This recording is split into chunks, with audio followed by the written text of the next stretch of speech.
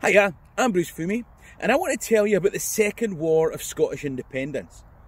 You see, when somebody says the Wars of Independence, we all think about the First War of Independence. William Wallace, Robert the Bruce, James Douglas, Edward Longshanks, and of course, the Battle of Bannockburn. But how much do you know about the second? If you fancy finding out, then this is a video for you. Now, if you're interested in the people, places and events in Scottish history, then you can click on the subscribe button at the bottom right of the screen. If you want more information, books, etc., then they are in the description below. In the meantime, let me tell you a story. Okay, so this is the first of a three-part series on the Second War of Scottish Independence, where I'll take you to key sites in Scotland and England. Now, we've probably all heard that saying, Scottish kings are like buses. The First War of Independence was caused because Alexander III died and there were no Scottish king for ages. The Second War of Independence was fought because we had two Scottish kings at the same time. But let me give you a bit of context. Robert the Bruce died in June 1329. Actually, one of my most popular videos is the one that commemorates his death, and I'll leave a link to that at the end. But Bruce had done well. He'd won the First War of Independence against Edward I of England, Edward II of England, and all the odds. He'd arranged the Treaty of Edinburgh Northampton that brought peace with our southern neighbours. The Pope had accepted Scottish sovereignty and sent holy oil to anoint future Scottish kings. And in anticipation of his death, Bruce had appointed two trusted guardians of Scotland. He'd left Scotland in a strong and stable position. And yet, under the Treaty of Edinburgh Northampton, the English Crown would recognise the Kingdom of Scotland as fully independent. Robert the Bruce and his heirs and successors as the rightful rulers of Scotland. The border between Scotland and England is that before the First War. The English couldn't cross the border to invade, and to seal the deal, David, the four-year-old son of Robert the Bruce, was married to Joan, the seven-year-old sister of Edward III. The treaty was made on behalf of Edward III, who was the English king, but as a minor, it was negotiated by his mum and her lover. His dad, Edward II, wasn't around. Some say he'd had a red hot poker rammed up his. The point is, it probably didn't happen. Anyway, what the treaty didn't do was to accommodate the Anglo-Scottish nobility who'd sided with the English and been dispossessed by Robert the Bruce soon after Bannockburn.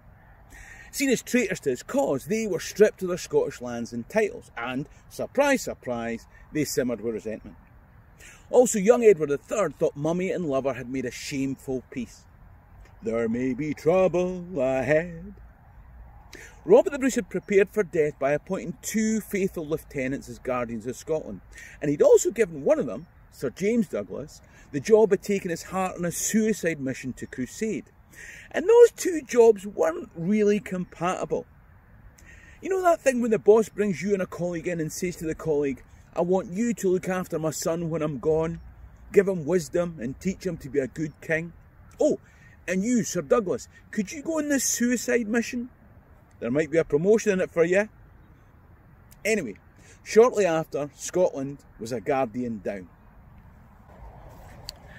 On the other side of the border, in 1330, Edward III of England came of age. He had his mother's lover executed and he wanted to undo this shameful peace with Scotland. Now remember this whole debacle had started back in 1292 when Edward III's granddad, Edward Longshanks, had installed John Balliol as King of Scots. Robert the Bruce's ascendancy had left Balliol's son, Edward Balliol, the most dispossessed of all the dispossessed nobility. Imagine that you were an heir to the throne and now you're pimping personal appearances and considering American citizenship. Ooh. The son of John Balliol was a perfect figurehead to send to Scotland to reclaim the throne from David II, the young son of Robert the Bruce. In creating the Disinherited back in 1314, Robert the Bruce had set a ticking time bomb, which went off in September 1332. Because of the Treaty of Edinburgh Northampton, Edward III couldn't cross the border and invade Scotland. But if a group of disgruntled, dispossessed nobles happened to sail round the border up the North Sea, fund them? Who me? On the 6th of August 1332, Balliol's supporters landed at Kinghorn in Fife with the intention of regaining Edward Balliol the kingdom that his father had lost so that they could get back the lands that they'd lost. They headed through Fife towards Perth, but two Scottish armies were on their way to crush these upstarts.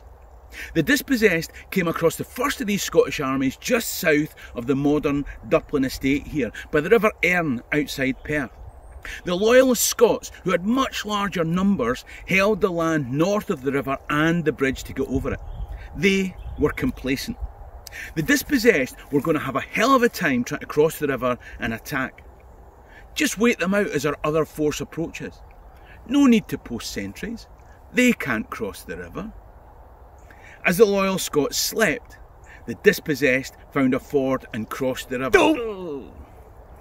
Not only that, the next day, these hardened professionals positioned themselves perfectly. There's a link to the book Battleground Perthshire in the description below, and it tells us that the southern forces formed a defensive arc at the head of this narrow gully so as to nullify the larger loyalist numbers. Archers on the higher ground up here on one flank, they were also positioned on the other and at the rear. Men of arms and spearmen here in the centre awaited the somewhat disorganised and impetuous Scottish charge. The southern longbows were devastating, as they would be for the next hundred years. The first Scottish schiltron was largely cut down behind me, bodies piled up here as they entered the archers' killing zone. Arguments about who had the honour to attack first meant that the overeager second schiltron rushed headlong into the fray, and all this did was press their own men in front onto English spears. The bodies here were piled so high, the only way to escape was to clamber over their hapless and erstwhile valiant comrades. This field was full of death. Many of those that survived were cut down in the retreat back to Perth. The Second Army didn't arrive in time to prevent Balliol from getting to Perth, and having himself crowned as King of Scots at Scone. The Loyalist leader brokered a truce with Balliol, ostensibly so that a parliament could decide on whether to endorse him or the boy David. The last 40 years of turmoil in Scotland started with two competing potential kings, John Balliol and Robert the Bruce. It seemed it was set to continue with Edward Balliol and David Bruce. Have you picked a side? Edward Balliol issued public letters swearing loyalty to Edward III of England, ceding lands and towns to Edward, stating that Scotland had always been subject to England, and promised to support the English king in any future conflict. Now have you chosen a side? So now there were two kings of Scots. The boy king, David II, was so young that he couldn't be involved in frontline politics. And the man king and dirty, slimy, scum-sucking son of a Toom Tabard, Edward Balliol, who was so sure of his position that he made his base not Perth, not Stirling, not even Edinburgh, but way down in the borders in Roxburgh. Shortly after, Balliol moved his base to Annan, right in the Solway Firth border where his father had had lands previously, and where flight to England was a hop, skip and a jump.